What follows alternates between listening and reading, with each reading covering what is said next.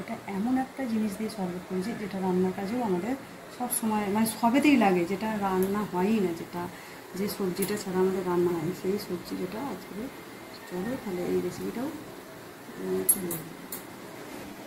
নাও পাপা নাও একটা নাও। কে দেখো কেমন হয়েছে। তুমি আর আমি আছি দিদি তো নেই। হুম, দারুণ এই গরমেতে দারুণ লাগছে কিন্তু কেমন হয়েছে দারুণ হয়নি হুম। নমস্কার বন্ধুরা। অন্যদিনের মতো আজও চলে এলাম আমার ছোট্ট রান্নাঘরে। এই রেসিপিটা একেবারেই নতুন। একটা শরবতের রেসিপি শুরু থেকে শেষ পর্যন্ত দেখার অনুরোধ রইল। প্রথমেই দেখলেন, আমি এখানে দুটো টমাটোরকে পুড়িয়ে নিয়েছি। ভালোভাবে বেশ পুড়িয়ে নিয়েছি। এবারে যে খোসাগুলো, দেখুন উপরের যে খোসাগুলো পুড়ে গেছে, সেইগুলোকে কিন্তু এইভাবে হাত দিয়ে ভালো করে ফেলে দিতে হবে, যাতে না একটু কালো অংশগুলো থাকে। আর এটা যেহেতু একটু গরম, একটু জল হাত করে নিয়ে কিন্তু এইভাবে একটু ছাড়িয়ে নেব। তো দেখুন, এইভাবেই করে নিলাম। এবারে আর কি, একটা মিক্সার জারে দুটো টমাটোকে দিয়ে দিলাম। দিয়ে স্বাদ মতো বেড নুন, এবারে দিয়ে দেবো স্বাদ মতো চিনি।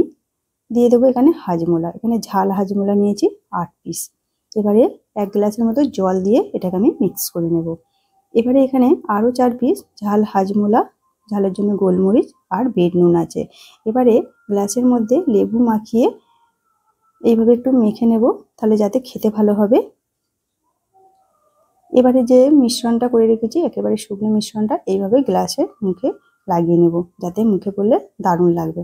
আপনারাও কিন্তু বাড়িতে এইভাবে একটু টমেটোরের জুস করে দেখতে পারেন, দারুণ লাগবে। এই গরমে তো দারুণ লাগবে।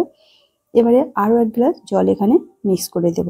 তো দেখতেই পাচ্ছেন কালারটা কত দারুণ, একেবারে পিওর ন্যাচারাল কালার এবারে গ্লাসের মধ্যে ভরে নেব। আমার যদি এই রেসিপিটা আপনাদের ভালো লাগে, আপনারা অবশ্যই বাড়িতে এইভাবে বানিয়ে দেখতে পারেন। এবারে আর কি, দুটো করে বরফ দিয়ে দেবো। আপনারা বরফটা কম বেশি করে নেবেন। বরফ দিয়ে দুটো করে পুদিনা পাতা আমি এখানে ওপর থেকে দিয়ে দেবো। এইটা পুদিনা পাতাটা একেবারেই অপশনাল আমার যদি রেসিপিটা ভালো লাগে লাইক কমেন্ট শেয়ার অবশ্যই করবেন। আজকের মতো, টাটা!